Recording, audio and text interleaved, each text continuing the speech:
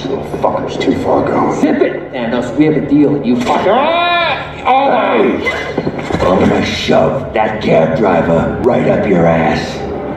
My body, and my hands are so soft. You should probably head back to the car.